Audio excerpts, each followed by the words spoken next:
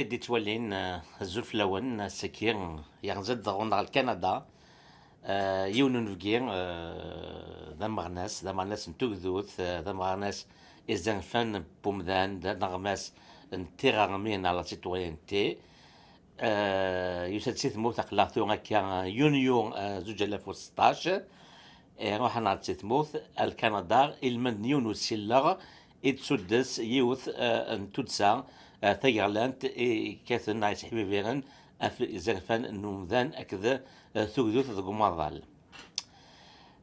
وكي بغي لاضي لأنه هورس اسميس ماس عبد الوهاب فرصاوي عبد الوهاب فرصاوي ذنسان إلى نكاتورا ذا سلواي أن تدوكلا يتوسنن طاس طاس الجزائر ثاني منقى لوراج لوراج لو اكسيون جوناس نعمل ما تتسقلا قبيليت اجراو انتياو ذي المزيان يسد كون دني هذا كال كندا المنديون السلا خويفا أختي دي سهم نتاع ذا شو ذا سوي بوشكي كي لك اوهاب زوف لك رشيد ثاني ميرسي تزور هذه ناس نفسك ديعتني كان Euh, L'occasion occasionné euh, euh, la télévision. Et qui donc, personnellement, donc, aussi avec Canada, bon, c'est pour la première fois.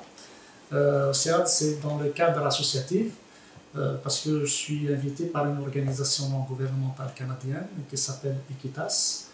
Donc, chaque année, elle organise. Bon, Equitas, c'est un centre international de formation aux droits humains donc chaque année, on organise un programme de formation euh, de trois semaines au profit des militants associatifs, des militants des droits de l'homme de différents pays euh, du monde.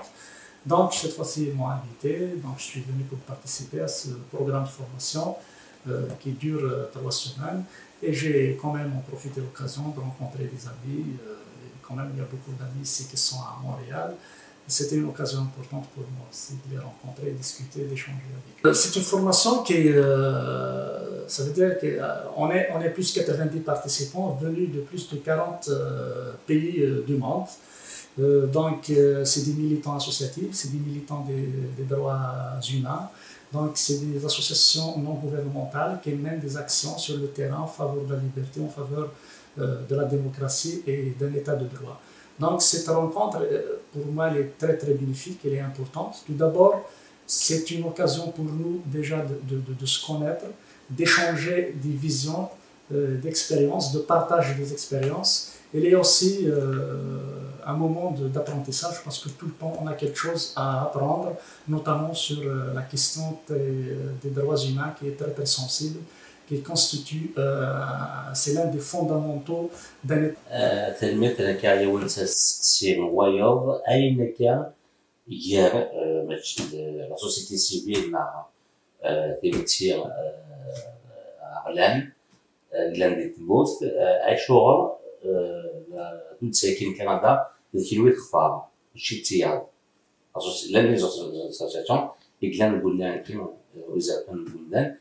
un écrit spécialement euh, tout d'abord, je tiens à préciser que ce programme de formation, chaque année, il fait des appels à candidature, donc tout le monde peut se porter, euh, peut porter sa candidature.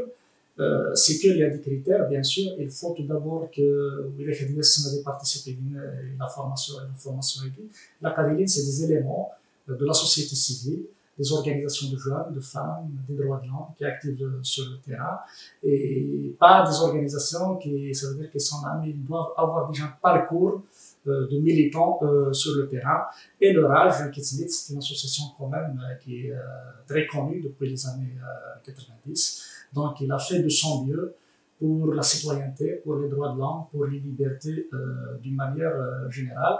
Donc, vu les critères qu'ils ont euh, mis pour euh, sélectionner des gens qui vont participer, euh, c'est-à-dire leur âge, moi en tant que président de l'association, donc ils ont trouvé que je réponds au profil, c'est pour cela que je suis là dans cette formation, en espérant qu'il y aura d'autres personnes qui vont venir, d'autres organisations, parce qu'il n'y a pas que l'âge qui est actif en Algérie, il y a d'autres organisations, des jeunes, des droits de l'homme, des organisations qui, qui travaillent sur les droits de la femme, sur les enfants, sur la culture et tout. Donc, euh, qui, à l'avenir, ils peuvent venir participer à ce programme de formation.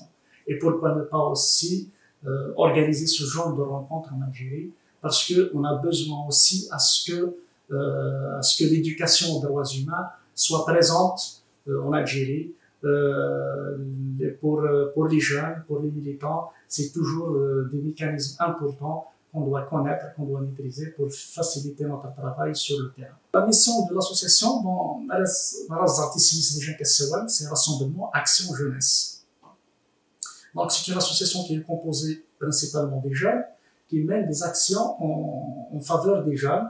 Donc, c'est un rassemblement des jeunes pour s'exprimer en toute liberté sur des questions qui les concernent. Et nous, en tant qu'association, notre objectif principal, c'est bien la sensibilisation et la mobilisation des jeunes sur des questions liées à la citoyenneté, euh, sur des questions liées aux libertés, sur des questions liées euh, aux droits humains. Comme vous le savez, en Algérie, euh, la jeunesse représente plus de 70% de la population. Donc cette population, il est très important de l'impliquer d'une manière efficace et effective dans la gestion des affaires publiques pour qu'il devienne un acteur, un partenaire de développement, sur le plan social, économique et politique. Donc aujourd'hui, les jeunes, on est, sont là, il ne faut pas qu'ils attendent à ce que les autres fassent quelque chose pour eux, et on dit, on est mieux, mieux servi que par soi-même. Donc, les jeunes doivent prendre euh, leur, leur destin entre, entre leurs mains. Et donc, il, faut, il faut qu'ils s'impliquent et qu'ils deviennent un acteur euh, il faut qu'il euh, il faut qu'il devienne un acteur incontournable du développement local, national, sur le plan économique, politique et social. Et les actions qu'on mène pour réaliser cet objectif, c'est de travail de, proximité, de sensibilisation.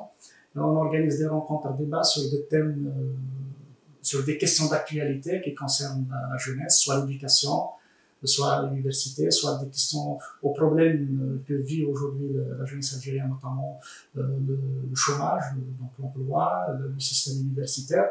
Donc tout ce qui concerne réellement la jeunesse, on essaye de l'aborder à notre manière. Et parmi les, outils, donc qu'est-ce qu'on utilise, je viens de citer, donc des rencontres, des séminaires, des universités d'été. Et aussi, il y a, euh, on utilise de, de, de, de, la culture pour, euh, parce que la culture aussi, c'est un moyen de sensibilisation et d'éveil citoyen euh, à travers euh, le théâtre, à travers la musique, à travers les expositions, les dessins, les ciné-clubs. Donc tout ça, c'est des actions qu'on mène, qu'on essaye de renforcer pour toucher, sensibiliser les jeunes pour qu'ils s'impliquent davantage euh, dans, dans les affaires euh, publiques, dans les affaires de, de, la cité. Parce que malheureusement, si on voit que la jeunesse aujourd'hui, ça veut dire les préoccupations de la jeunesse ne sont pas prises réellement. Donc, euh, si on prend le discours officiel, soit des, des responsables de l'État à tous les niveaux, même aussi des, des, des responsables des partis politiques, les jeunes, il est présent dans le, discours officiel. C'est tout le monde qui, qui, qui, parle des jeunes, c'est tout le monde qui parle des problèmes des jeunes, euh, de, comment ils prévoient résoudre euh, ces, ces, les problèmes que vit la jeunesse aujourd'hui. Mais réellement sur le terrain, on voit, euh, on voit autre chose. Il n'y a pas de mesures concrètes pour prendre sérieusement euh, les préoccupations et de la jeunesse algérienne. D'où la nécessité que la jeunesse se mobilise euh, s'organise pour qu'il s'impose autant que force de, de, proposition et une force euh, d'action La jeunesse s'intéresse très peu à la politique en ce moment. En fait, c'est pas uniquement la jeunesse, c'est toute la société. Cela n'est pas tombé du ciel et cela c'est pas un choix de, ça veut dire de la société ou de la jeunesse. Parce que euh, il faut faire quand même un petit, euh, de faire un, il faut regarder un peu en arrière ce qu'on a subi.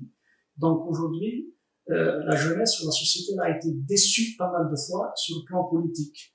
Donc, un certain moment après les, les, les événements douloureux d'octobre 88, donc l'Algérie a mis un pas vers le multipartisme pour le pluralisme politique, euh, médiatique. Donc là, on a vraiment vécu un certain moment de 89, 10, 11, des, des, une ouverture, donc où tout le monde peut s'exprimer, des organisations, des partis politiques, la liberté de la presse. Après, juste après l'arrêt du processus électoral, donc on est plongé dans une situation euh, que personnellement nous avons nous qualifions d'une guerre civile parce qu'il y a plus de 200 000 morts, des déplacés forcés, des, des, disparitions forcées, des déplacés aussi forcés. Donc cette décennie-là que nous avons vécu a enregistré un retard énorme sur le plan politique, économique et social. Donc ce que nous avons vécu durant les années 90 a contribué à atomiser le, ça veut dire, et diviser et affaiblir tout ce qui bouge euh, durant le, ça veut dire tout ce qui bouge, soit parti politique, syndicats, associations. Et même après de 2000 jusqu'à maintenant, donc après l'arrivée de, de, de l'actuel président Bouteflika, donc il a tout fait, il a cassé ce que sa politique qu'il a suivie, a cassé tout ce qui reste. Donc c'est, euh, il a étouffé tous les espaces. Il y a de, de ça veut dire euh, il y a un recul, on a enregistré un recul énorme en matière de, de, de l'action politique, de l'action associative, de l'action syndicale, l'interdiction des manifestations, des lois, euh, des lois, euh, ça veut dire il y a un arsenal juridique qui vient avec des lois euh, liberticides, des, des lois scélérates. Euh, par exemple, le cas de la société civile, le cas des associations, juste après ce qu'on appelle le printemps arabe, euh, donc ils ont promis, ils ont promis qu'il y ait des réformes démocratiques. Et parmi les réformes démocratiques, ils ont parlé de la réforme de la loi sur les associations. Donc ils ont réformé effectivement cette loi, euh, de la loi du 06, mais c'est une loi qui est là, qui contrôle le travail associatif, qui, qui empêche à l'émergence, qui empêche l'émergence d'un mouvement associatif fort, capable de s'organiser, capable de contribuer au développement euh, du pays. Donc, face à ce contexte-là, ça veut dire à l'étouffement, à la répression, c'est pas évident qu'il y ait des forces, des forces, euh, soit des partis politiques, mais des syndicats, des associations, qui sont euh, qui sont fortes, euh, qui sont fortes, qui peuvent contribuer. Donc, il y a ce rouleau compresseur, normalisateur et répresseur du gouvernement, du pouvoir algérien, qui a fait à ce que les, syndicats, les associations, les forces progressistes dans la société, dans la société trouvent des difficultés euh, pour euh, pour travailler. Et c'est le et si on parle de la société civile, la société civile c'est à l'image aussi de la société. Donc la société là aussi a subi la même chose. Donc de manière générale euh, depuis euh, depuis depuis 90 à ce jour. Donc il y a toujours la restriction des espaces. Euh, on empêche à ce que la société puisse s'organiser d'une manière démocratique et d'une manière euh, d'une manière euh, libre. Donc ça, sur la question de dire que on s'intéresse très peu. Effectivement, on s'intéresse très peu. C'est-à-dire il y a des intérêts, il y a, euh, c'est-à-dire la société euh, s'implique pas d'une manière directe à la politique. Juste, je vous rappelle, en 2012, avant les élections euh, législatives, au temps que on a, on a dit qu'est-ce qu'on va faire à l'occasion de ces élections et ben, on a décidé de mener un sondage d'opinion sur la relation de la jeunesse avec la politique. Parce qu'on a vu que tout le monde qui est, comme de dire, c'est tout le monde qui parle de la politique. Ce sondage, on l'a mis en collaboration avec un centre euh, spécialisé dans les sondages, c'est École Technique, c'est, je ne parle pas. Donc, il nous a donné une approche, euh, euh on a eu un soutien méthodologique, euh, ça veut dire comment on va organiser ce, ce sondage. Et les résultats de ce sondage, effectivement, la société, particulièrement les jeunes, s'intéresse à la politique. Peu de gens qui adhèrent aux partis politiques, peu de gens qui adhèrent aux syndicats, peu de gens qui adhèrent aux associations, très peu de gens qui croient aux institutions de l'État, euh, qui croient aux partis politiques. Donc tout ça, c'est un résultat de la politique suivie par le pouvoir, qui vise aussi, je pense que c'est délibéré, l'objectif c'est de faire éloigner la population de la politique, qui s'intéresse pas à la politique, euh, c'est ça, c'est ça leur objectif. Ils ont tout fait pour arriver à cet objectif. Mais ça ne veut pas dire que, euh, ça veut dire les Algériens, les jeunes, la société de manière générale s'intéressent pas à la politique. Ils sont conscients de la situation. Ils savent très bien ce qui se passe. Euh, il y a des dynamiques un peu au niveau national, dans toutes les régions, pour euh, qu'ils essayent de faire entendre leur voix. Des petits mouvements qui existent au niveau national de jeunes, de femmes, des syndicalistes et euh, Concernant les moyens, vous avez soulevé un moyen, euh, justement la loi 206 sur les relative aux associations. Effectivement, l'État empêche tout partenariat avec ONG international et empêche le financement qui vient de l'étranger. Oui, l'État a le droit de regarder, de savoir d'où il vient l'argent, où on les dépense. Mais euh, ça veut dire, et, euh, euh, cette association, elle est, plutôt cette loi, elle est venue pour empêcher, ça veut dire les associations qui activent encore, parce qu'ils ont les moyens viennent d'ailleurs, parce que les associations, les organisations autonomes, l'État ne les encourage pas. Au contraire, et donc cette loi, est, elle est là pour euh, bloquer, tuer ce qui bouge encore. Et nous, en tant qu'association euh, autonome, on rencontre des, des problèmes énormes dans ce sens. On a des projets mais qu'on n'avait pas réalisés. On a des partenariats qu'on n'avait pas réalisés. Même de fois, on organise quelque chose, on invite nos partenaires du, de l'Afrique du Nord, du Maroc, de la Tunisie et tout, et bien trouver des difficultés même pour rentrer, participer à ces rencontres. Et pour les financements, on essaye de monter des projets en partenariat avec des ONG, des organisations non gouvernementales, partenaires, et nous aident à faciliter, nous aident à mettre en place ces, ces, nos projets. واهب تزوغ كيني تجميلت تسوغالا كام كتشيني ميكا ديك كشبان كاثنا كان في منو كيف ذوث سو مثلا غاسو لما النار ماشي داني سهلا القصص التدريب لا موبيليزاسيون لي زوبستاك ناغ غبلان إدي تاكن سكودافو ماشي كني تبدم تقوب ميك إغبلان كي وتكمل منو تجميع تاون توغال إكنوين ماشي ويوفن يتصمد إوا شو ذافو زيري يتعاون تيدوك لا كي مثلا نوان لاغاج إكاثن وكنا ضرسين تودو تموت ماشا يتعاون يتكاطاس أفوس نتللت يثدوك لي وين يشدن الدين الدين لا دغا يسكوس كي نقوغا قوت التاطاس الطاس ذا شو تمغلينك ذا شو عندنا ضفن شتاكي En Algérie, quelqu'un qui, chaque fois je rencontre des gens qui ne sont pas algériens, quand ils regardent de loin, ils voient, il y a des journaux, on peut parler, on peut critiquer Bouteflika, on peut critiquer Terre Général, on peut parler de, de, de, scandales, de corruption, on peut parler de tout. Il y a des partis politiques, il y a des associations, donc tout ça c'est de, des façades.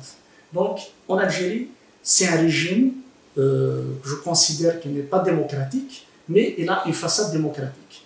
Donc il y a des associations, donc a ses propres partis politiques et il a sa propre société civile.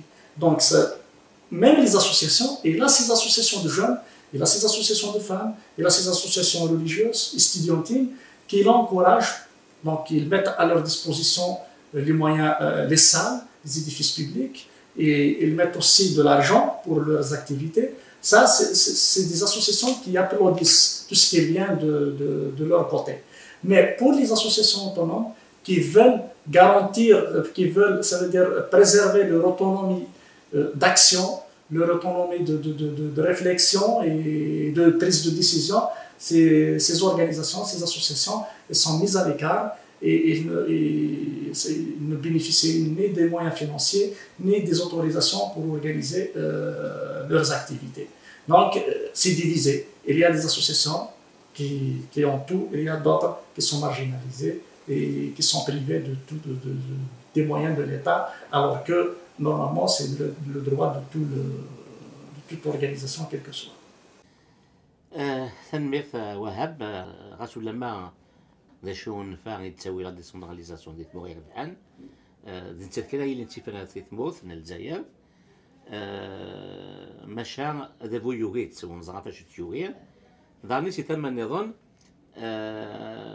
الفغانيا نا ثيمورا آه، تيبغانيين يتجهدن وغين آه، وغين كني تبدل الجزائر.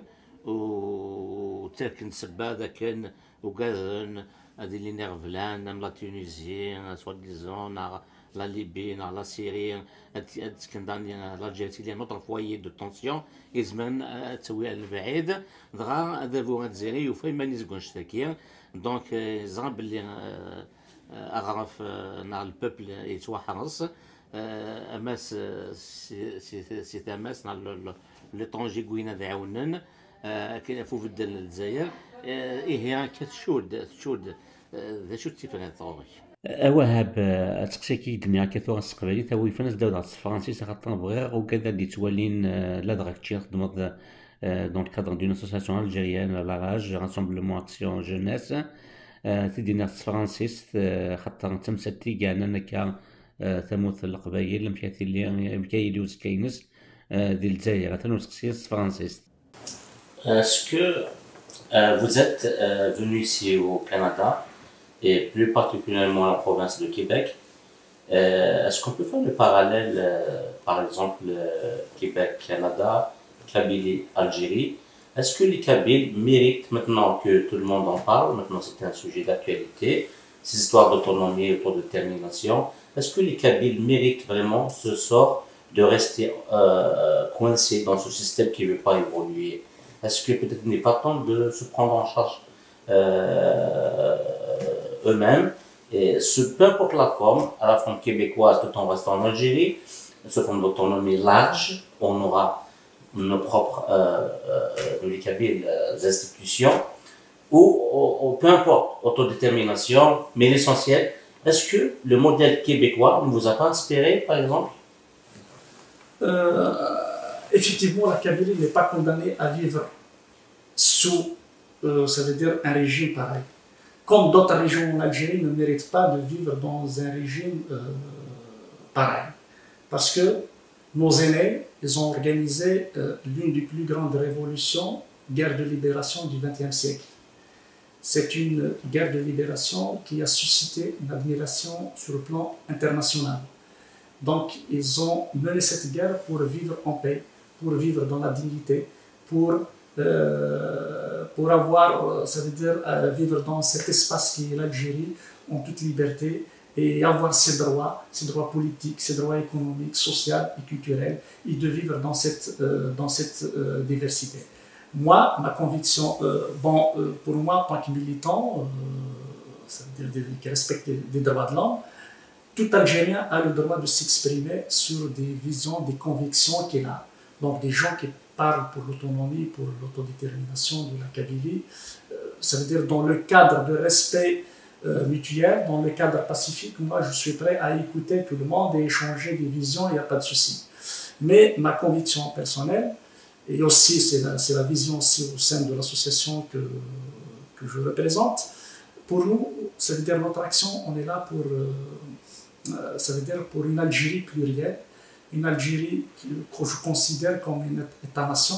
Ce n'est pas dans le sens jacobin, une seule identité, une seule langue, mais qu'il y ait cette diversité, que chaque diversité, cette diversité que je considère que c'est une euh, richesse, donc elle doit être euh, préservée.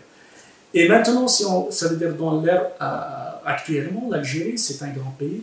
Effectivement, je trouve que la décentralisation est très importante. Chacun peut l'appeler comme il veut. Il y a des gens qui l'appellent décentralisation le fédéralisme, le, régionalisme. Donc l'Algérie ne peut pas, personnellement, on ne peut pas imaginer l'Algérie développée sur tous les plans avec ce système central.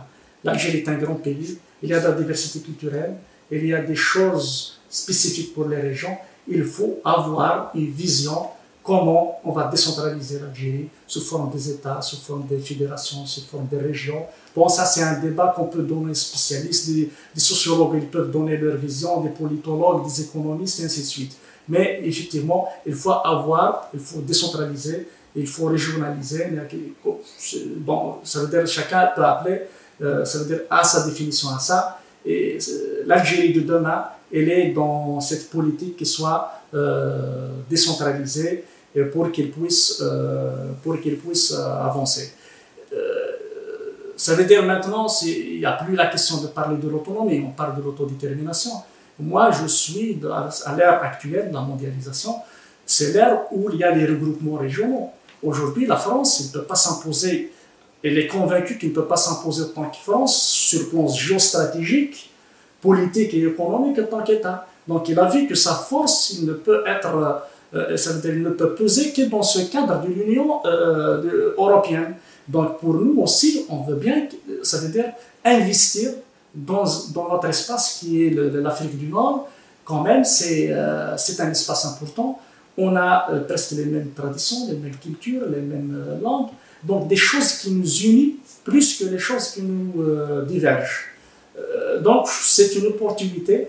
c'est pour, pour moi, c'est quelque chose à qui nous, auquel nous, ça veut dire on croit à cette, à cette union, parce que c'est de cette manière qu'on peut peser, c'est de cette manière qu'on peut faire face aux enjeux stratégiques, qu'on peut faire face à cette mondialisation sauvage, parce que la mondialisation, bien sûr, elle a ses effets positifs, mais il y a aussi euh, beaucoup de, négatifs. Donc, euh, aujourd'hui, l'Algérie ne peut pas négocier ses intérêts autant avec l'Union européenne, autant que pays. Elle a besoin euh, L'Union européenne elle vient négocier avec l'Algérie, avec le Maroc, avec la Tunisie, avec la Libye. Mais si on négocie nos intérêts, ça veut dire qu'il y a des négociations intérêt à intérêt, donc ça sera plus fort, plus bénéfique pour la région. Donc c'est pour cela que je dis une indépendance ou l'autodétermination ou euh, singulariser une région. Euh, personnellement, je ne suis pas partant. Donc il faut aller dans, une intégration régionale plus large tout en garantissant une décentralisation des affaires internes, de développement, de donner aux régions euh, une certaine autonomie, une autonomie dans le développement euh, de leur région.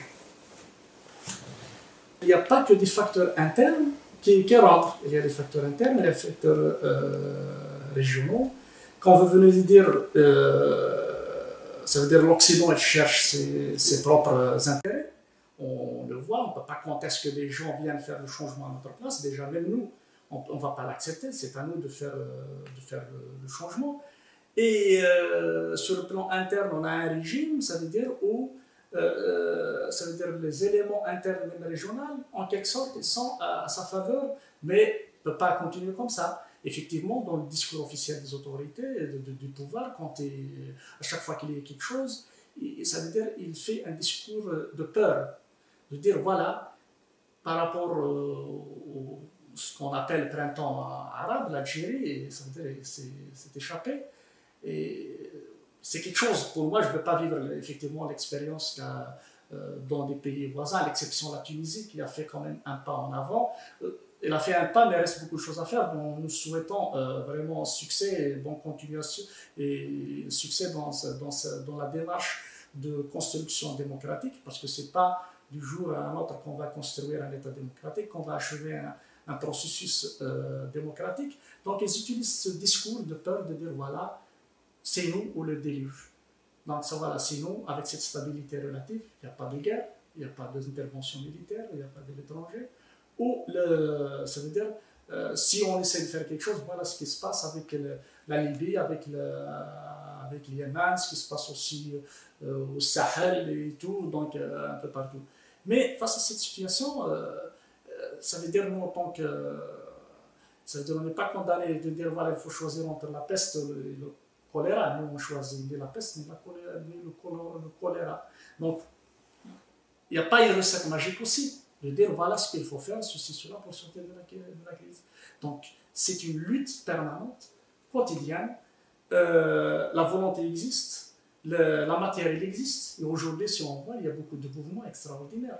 Il y a le mouvement des jeunes, il y a quand même des associations, il y a des mouvements féministes, et euh, il y a des, des, manifestations. Quand même, ces manifestations qui existent au niveau national, c'est des milliers, on compte des milliers. Tout ça, c'est de la matière. Maintenant, le défi pour nous, pour ceux qui croient au changement, c'est comment canaliser ces gens-là, ces dynamiques citoyennes qui existent au niveau national. Parce que on trouve des difficultés effectivement pour travailler ensemble, pour les canaliser, mais c'est le défi actuel, c'est comment canaliser ces forces, c'est de cette manière que ça va venir euh, le changement. Même le travail de simples associations locales sur le plan culturel, qui fait le travail, qui, travaille sur la promotion de la culture et de l'identité kabyle ou amazir, ou qui travaille sur les droits euh, de la femme, qui travaille sur l'environnement, c'est des forces quand même à ne pas sous-estimer. Il faut savoir comment euh, les canaliser et les fédérer et les faire, les faire aboutir.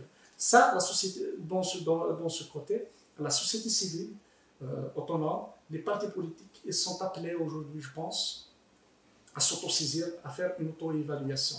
On a fait des parcours depuis 90, après 90, maintenant on est en 2016, différents parcours, parce qu'aujourd'hui la société civile, c'est un maillon faible c'est, ça veut dire qu'il n'arrive pas, il est absent dans la scène politique. Donc comment il peut occuper et jouer son rôle dans la société. Donc c'est le moment de faire une évaluation, de voir, faire une évaluation des années précédentes, de voir là où nous avons euh, échoué, là où, euh, de voir nos failles pour nous corriger et pour qu'on puisse, pour qu'on puisse construire quelque chose.